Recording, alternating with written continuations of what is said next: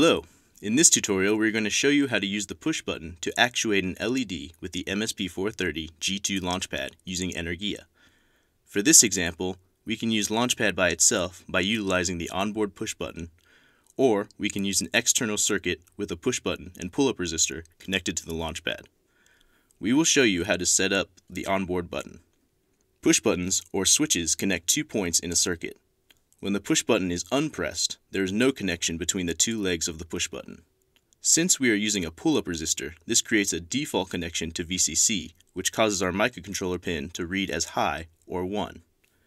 When the button is pressed, however, it makes a connection between its two legs, connecting the pin to ground so that the pin reads as low or 0. Now let's go over the code for use with the push button on our launchpad. In the program, Pin 14, which has green LED on the launchpad connected to it, is set up as an output in the setup function. Here, the LED pin refers to the green LED, which is set as output.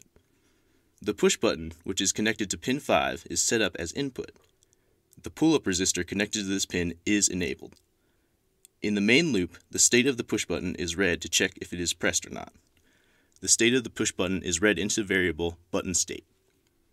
If the button state is high, it means that the push button is pressed, else it is not. Whenever the button state is high, the green LED is accordingly switched on, else it is switched off. After we compile and program the Launchpad, we can begin our visual verification of the code execution. When the button is not pressed, we see the green LED is on. We press the button, and the green LED turns off. And that's it. Now you know how to set up an interface and onboard push button with the MSP430 G2 Launchpad.